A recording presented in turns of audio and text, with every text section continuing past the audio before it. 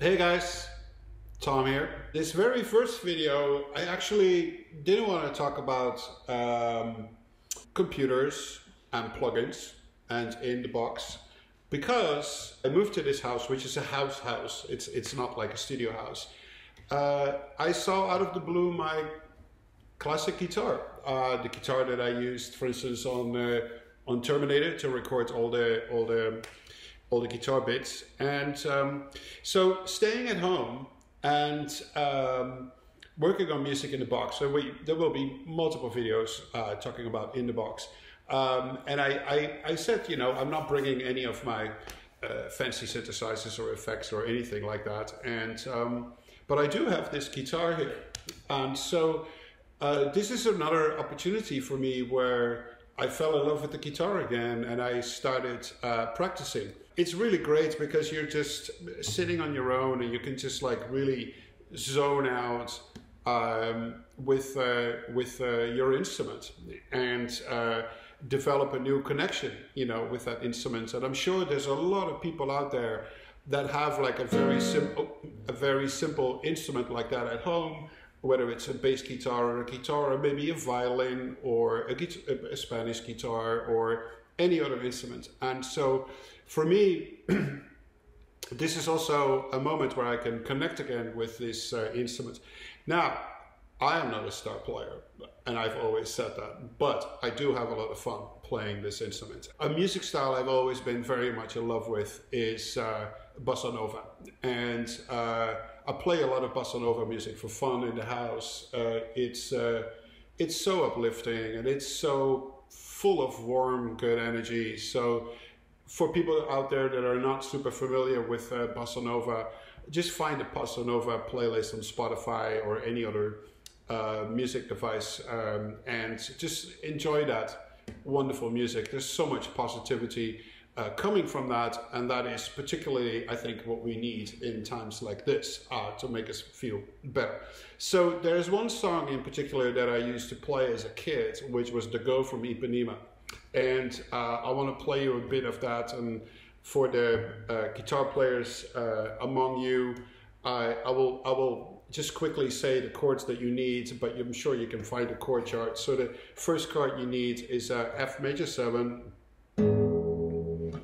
and then a G6.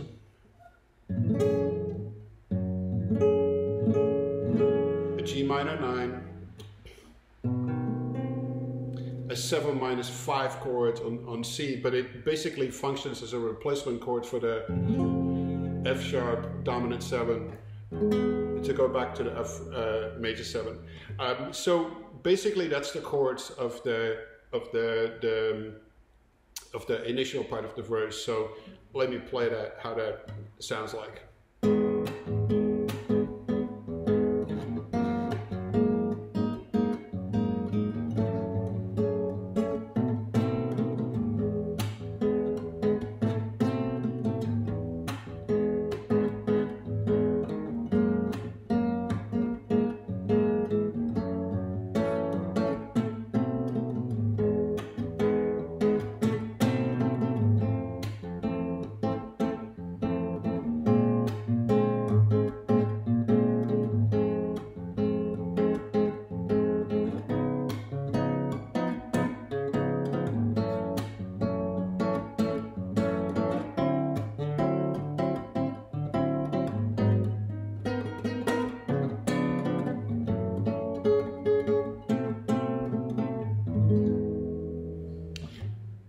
The chords.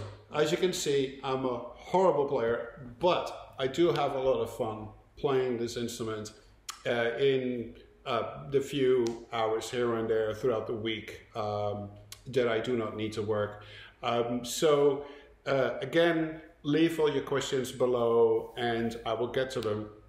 I will answer a couple of questions in, in, in, uh, in uh, this video. So I'm going to put this wonderful instrument away boom, and I'm going to talk uh, to you guys directly. Um, so um, some people said, uh, well, it's really great that you're now going to be working in the box only because I don't have hardware and I would like to know how you do that. Um, I want to take away one really big uh, misconception here. I work in the box all the time.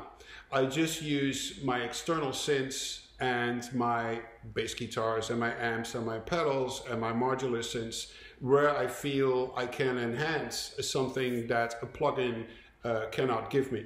So it's a misconception that I only work with hardware and now I'm forced to work only in the box. That's not the case. I always work in the box. Um, so also in the work that I do for films, you always need a total recall of the cue that you did and then do a few changes and then uh, spit it back out again.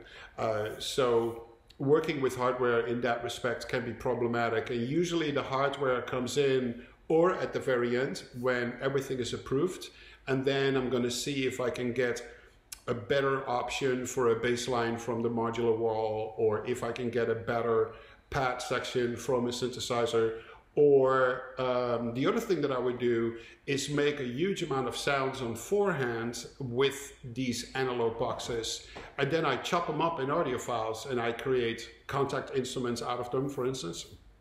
And then I use that uh, while I'm making um, music for a movie. So Terminator is a very good example of that, which is filled with synthesizer sounds, the synthesizer design sounds, but they were all made on forehand and then made into Kontakt instruments. And with that, I started then doing the cues in the box. And then I would use more plugins and more uh, mix tools and such. Um, so another question that I uh, that I got asked is like, um, how do I work with uh, uh, with monitors and with speakers or a headset or whatnot? Um, I also live in an environment with neighbors, and, and so I have to be very careful with uh, sound here. But what did help though is that I talked to both of the neighbors, and this is just purely being a human being, uh, and say, "Hey guys, uh, I'm now forced to I'm forced to work from home, and uh, so are you guys okay that now you would hear a little bit more music coming from my room than you normally would? And they said, yeah, of course, we have to work at home too. So there's a lot of like forgiveness back and forth for the fact that I now need to work from home and normally I don't. Um, so sometimes that small psychological effect um, uh, it, it is important when you now need to fully work from home and now more people are at home and they might be easily more easily bothered by the sound coming from your room. But my room upstairs is also super small, and um, you guys see the picture of it. And so I use uh, smaller Dynaudio speakers uh, at this point. I don't use surround speakers for the for the home setup. when it's late at night or early in the morning, I use a headset, and excuse me, I use a um, a Sennheiser closed headset that I've been using for many, many years. It's very cheap. I think it's under $100. And I know that headset really well. And um, uh, so that's totally fine. Also, my room upstairs is not treated with acoustics. Uh, when I put the speakers up there, it definitely sounded a little weird in the beginning, but I just played a lot of music that um, I know really well. And uh, at a certain point, I understood, okay, this is what these speakers will sound like in this room. And then when you make music, you know exactly how loud to program something or how quiet. Uh, so that was a question that uh, came in I would like to answer. Um, the other question that I got, that's the last question I will answer in this segment, and then the next uh, video will, will, will be shot in the little studio upstairs and we get more technical, is uh, how do I keep my inspiration up? Where do I uh, get really good vibes from uh, to, to keep going? And I think uh, this is always like the hardest question, especially when you're in uh, in, in times of difficulty. So what I've learned over the years, and these are very simple things, um, that even though there might be uh, so many issues out there in the world, and um, whether it's um, this corona crisis or whether it's uh, poverty or whether it's uh, a war going on or a potentially approaching hurricane or approaching um, twister season, tornado season, or whatever it may be. Um, there's always little things in a day um, that you can really enjoy. And uh, for instance, living in California, uh, the sun always comes up every day and it, it, it, it's nice and sunny outside. And if I sit outside in the morning and I look at the trees, they don't know what's going on and they are still having a great time growing and enjoying the sun. And that little moment there gives me happiness and that keeps me going throughout the day. Um, for instance, in, uh, in when I was living in Amsterdam, where there's nearly not as much uh, sunshine uh, as it is in uh, California, and when my studio was in the basement and I barely saw any daylight, um, uh, I looked a whole lot whiter uh, then. so now I look a little bit like sunburn because it's sunny out here. Um, uh, but when I was working in that cellar, I looked like um, a corpse. Yeah, like a corpse, uh, because I was in that cellar all day. And so I also went through days of like, you know, not feeling it at all. And so, for instance, Amsterdam is a city with amazing architecture. And by just walking around, I got so much um, positive energy of just looking at that incredible architecture of uh, over hundreds and hundreds of years.